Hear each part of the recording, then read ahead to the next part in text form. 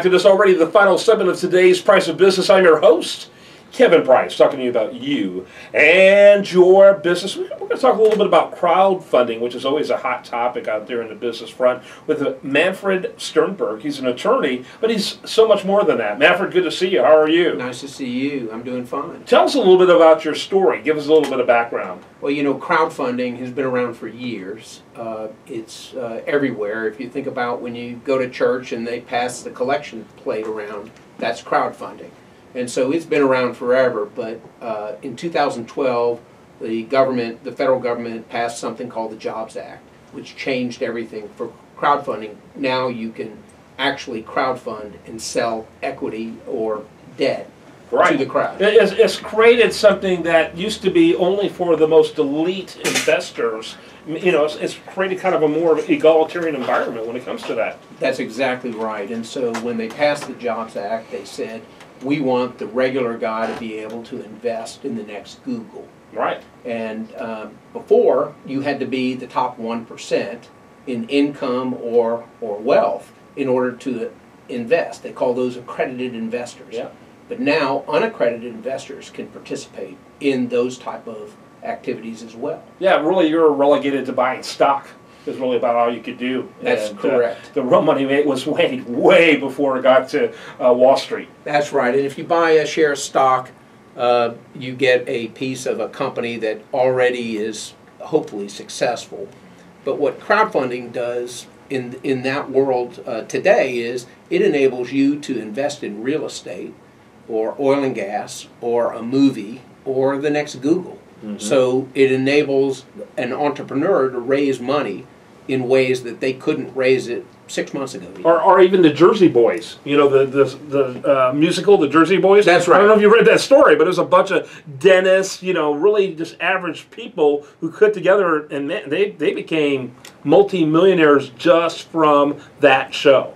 Right, right, and so you can like uh, the the the drugstore near your house. Has anybody ever offered you the chance to invest in that real estate, a thousand dollars? They've never asked you because they don't want a thousand dollars. But if they get a thousand dollars from a thousand people, it's interesting. Then they can, and you know, and you know the real estate in your community, and so you can reinvest in your community because you know that real estate. Whereas you may not know it across the country, you do know it down the block. So yeah. it really encourages you to reinvest in your community. Yeah, it's fantastic. I love the idea. Now, crowdfunding was happening before, uh, you know, the Jobs Act, uh, but since the Job Act, all, the number of platforms have literally exploded, and they've gone from pat on the back, you helped us do whatever, to actually becoming profitable making mechanisms. Talk a little bit about some of those rather than the ones are just getting a credit at the end of that documentary. You know, ones that, that people are actually making money for. Right. They call uh, uh, crowdfunding like they do at church. That's that's uh, uh, charity based. Uh, yeah, altruistic. Sure. Right. You you feel better. You give a dollar. You feel better. The uh, rewards base is you get a T-shirt. Right. You give a dollar. You get a T-shirt. Um, the equity based is you give a dollar, you get a share of stock, or you get a dollar and you get repaid a dollar ten with interest. That has changed. So they have these things called funding portals and they are a term of art by the Securities and Exchange Commission that basically says on these portals you can sell or or uh, uh, or raise money from the crowd, whether they're accredited or not accredited.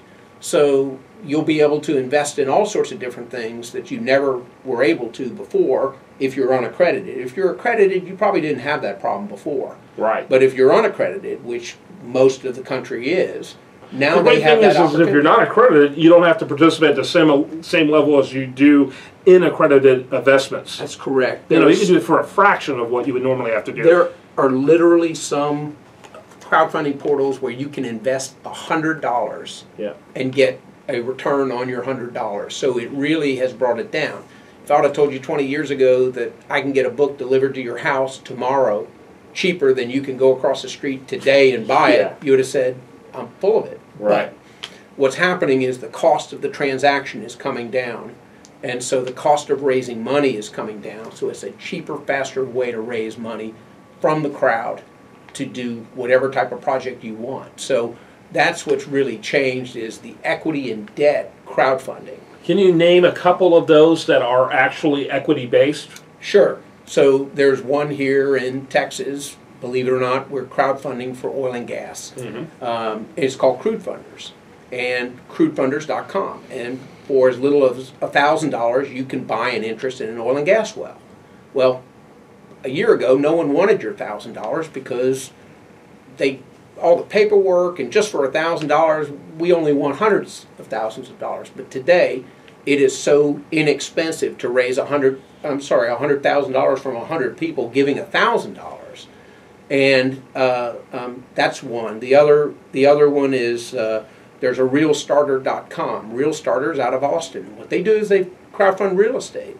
So, and those are all over the country. These real estate crowdfunding portals. Uh, we've crowdfunded. What kind of investment are those demanding? Well, um, a thousand dollars. You Yeah. can invest So a thousand dollars. dollars seems to be pretty key.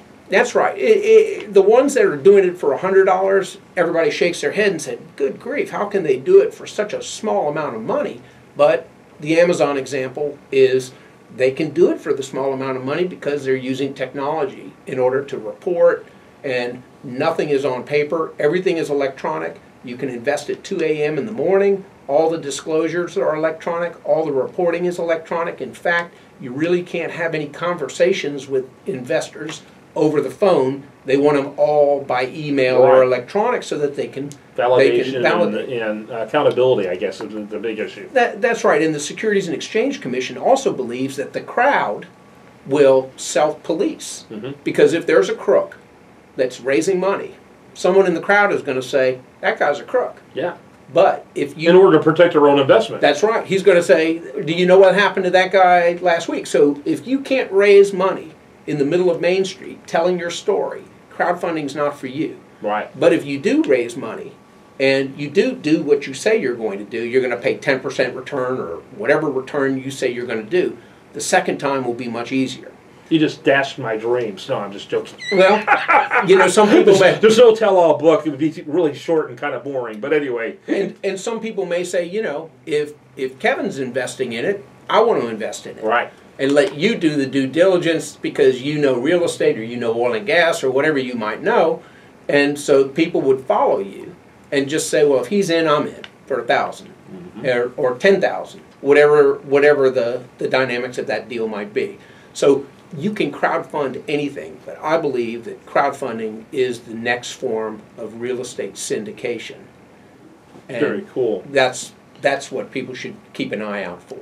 Very cool, Manfred Sternberg, and he is involved in a lot of different things, but particularly crowdfunding is, is uh, the thing that you're, we're focusing on today. And just for uh, a disclaimer's sake, you're actually involved in one of the ones you mentioned. Talk I a am. little bit about that and how long have you been involved in that? I've been involved with crude funders for a couple of years, and as I tell my wife, it's it's crowdfunding, it's oil and gas, and it's Texas. How big could it be? Mm-hmm. And so we are at the infancy of this industry, and it will explode over the next 20, 30 years. It'll become much more commonplace than it is today. And how many different projects are they investing in at any one time? Well, they are investing in one at a time, mm-hmm. but you know, really the early ones are probably the ones that you want to get into because those are going to be the successful ones, right? Because if we do a whole bunch of bad deals, you won't want to come into that portal. So the early deals are all pretty much successful. They're not guaranteed, but everything's pretty much successful because they don't want to do bad deals because if I told They're going to be more selective early on. That's correct. In order to build confidence. we would like to we would like to uh, suggest that we get the cream of the cream of the cream. right. And so those are all good. Yeah. But as things go along, people are going to drill dry holes, or, or real estate is not going to increase in value as they said it would, or the film is not going to be sold. Any of those things can happen. There's risk, but there's also reward. Yeah, Abilene wasn't going to be the new DFW. Sorry, I, I went to Abilene Christian University, so don't be sending me any hate mail. But uh, yeah, that's cool. So that's very interesting, and so then that's an interesting thing to look at because you guys have a lot more writing uh, on the, each of these projects in a way that traditional oil and gas investment deals do. Because because you know credit investors are unfortunately very familiar with those deals going south. That's just part of doing business. But if you're dealing with people who are trying to stick their toe in the water and writing a check for a thousand dollars is significant, you have got to be really careful and much more vigorous in your due diligence on the front end than you are in dealing with those accredited investors. Yes, and so you want to look at what the crowd is doing, what the crowd is saying, and who is the crowd. Are they knowledgeable people that are investing, and you may want to invest with them. Um, but you can see who's investing and, and what the deals are online, and all the disclosures are there, so you should read those and understand the risk and don't invest what you can't afford to lose. It's like the stock market or real estate or any other thing, except you can invest in such smaller increments. And you can also use your IRA, your self directed IRA, which enables you to grow whatever profits you make tax deferred. Very good. Uh, Manfred Sternberg, he's been our guest. What is the best website that you want to give? Would it, would it be the crudefunding.com? Just yeah. let people check it out? Crudefunders.com is a great one to look at. You can register. They don't spam you, but if you register, you'll see what it's all about. You don't have to invest if you don't want to. There's no pressure, but you'll get to see the different deals that come online that are seeking investment. Uh, the other uh, one that you can go to is realtymogul.com, which is a national uh, portal for real estate. And they say they only do 1% of the deals that come to them. But so far, they've been paying between 8 and 12% interest on the money. And it's all secured by real estate. So wow, yeah. So it's it's well, like finding a bank account for a grand that will do that. That's pretty impressive. That's right. It's great for someone. Uh, we call it nervous money. People that don't want to invest in the stock market because they don't know where it's going, but they don't yeah. want to earn half of a, a percent in the right. bank but they know the real estate in their neighborhood is good. And if they knew they could invest in that real estate and have someone else deal with it all, they're happy. Yeah, I love it. Very cool. Manfred, I appreciate you being with us today. Any final thoughts for the listener out there? No, just keep your eye on crowdfunding because it will be the new way of raising money in in the the United States. It just Do you see it having an adverse effect even on traditional banking? You know, uh, I don't know. I think banking now, the banking industry primarily makes money off of fees. I don't know how much money. I mean, we know they're not making money off of interest rate because interest rates virtually are non-existent. Uh, they're not even making that much on loans because uh, money, you know, is so competitive that they can't go much higher. I think that's their primary way of making money. But what little money they're getting in that space seems like it could be really easily uh, distracted by uh, eight to ten percent interest returns on a thousand dollar investment. Well, what CD can do that? That's right. You're exactly right. And the banks that have studied this all, all say that crowdfunding is disruptive to their business model because basically you're looking at the crowd as the bank. So can I buy this piece of property for two hundred thousand dollars? Traditionally, you'd go to the bank have to give them all your financials, etc., and then they charge you, you know, whatever they charge you. You can do that with the crowd, and you can get $1,000 from 200 people, and you've raised that $200,000. So it really displaces the bank because what does a bank do? It aggregates money from all these people, and then it loans you, and they pay 1%, and then they loan it to you at 8%, and they make the difference. Yeah. It's you're just disintermediating the bank. You're going directly you're, to the crowd. Yeah, absolutely. You're almost torpedoing the bank. So, which in a lot of what we've seen lately, we kind of like that idea. Very good. Good to see you today. Nice to see you. Thanks. Yeah, uh, crudefunding.com. Crudefunders.com. Crude Funders. I keep saying it wrong. So listen to him, not me. Crudefunders.com. Make sure you check that out. I think it, it sounds like a great idea. And uh, people really need to take ownership when it comes to their investments and what they do. And so I love projects like yours and ideas like yours that are driving that concept. So thanks so much. All right, uh, that wraps up today's show. Do want to remind you the show continues 24 7 at priceofbusiness.com. While there, like it on Facebook, follow it on Twitter.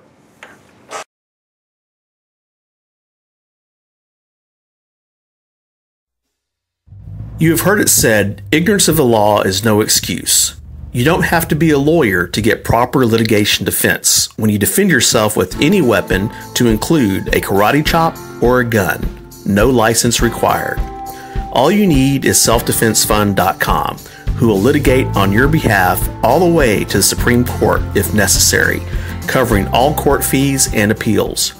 A gun law class or seminar may not keep you out of prison, but a selfdefensefund.com membership could. We are on standby 24 7 to defend our members aggressively. One call, no out of pocket expense or reimbursement plan, comprehensive and extensive benefits like no other. Selfdefensefund.com. Lawyers are standing by. Any weapon, any state, anytime.